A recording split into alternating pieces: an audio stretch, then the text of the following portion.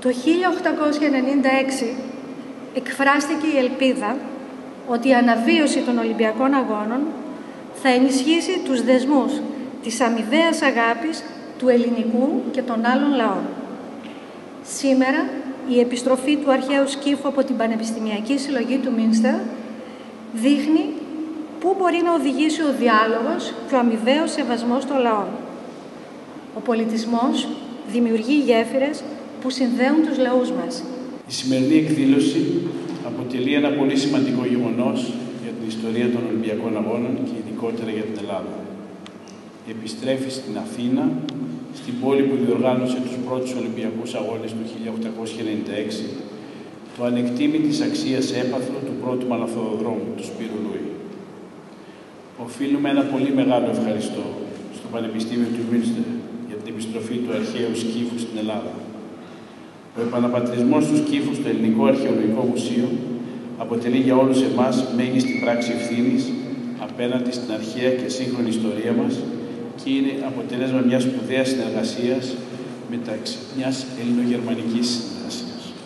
Είναι ιδιαίτερη χαρά και ιδιαίτερη τιμή σήμερα που μαζί με τον Γενικό Γραμματέα του Υπουργείου Πολιτισμού, τον κύριο Γιώργο Διδασκάλου, σας υποδεχόμαστε στο Εθνικό Αρχαιολογικό Μουσείο προκειμένου να έχουμε την μοναδική χαρά να παραλαμβάνουμε από εκλεκτούς συναδέλφους ένα εξαιρετικά σημαντικό αρχαίο σκύφο, σημαντικό όχι γιατί είναι αρχαίος, όχι μόνο γι' αυτό σημαντικός, αλλά σημαντικός διότι συνδέεται άμεσα με την ιστορία της νεότερης Ελλάδος και με τους πρώτους Ολυμπιακούς Αγώνες οι οποίοι αναβιώνουν μετά από εκατοντάδες χρόνια.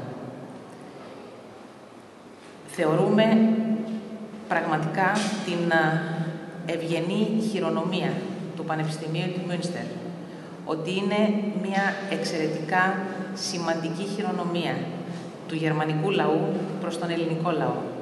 Η πολιστική κληρονομιά ανήκει στους λαούς που τη δημιούργησαν. Με αυτή την έννοια λοιπόν εκφράζω εκ μέρους της ελληνικής κυβέρνησης την ευγνωμοσύνη μου σε εσάς και την ευγνωμοσύνη όλων μας, σε εσάς που προβήκατε μέσα σε ένα πλαίσιο εξαιρετικά θετικής συνεργασίας και συναδελφικής αλληλεγγύης στη συγκεκριμένη απόφαση. Το ξεκίνησα από το, την έρευνα αυτή από το 2012 με εντολή του παλιού μου διευθυντή του Νίκο Καλτσά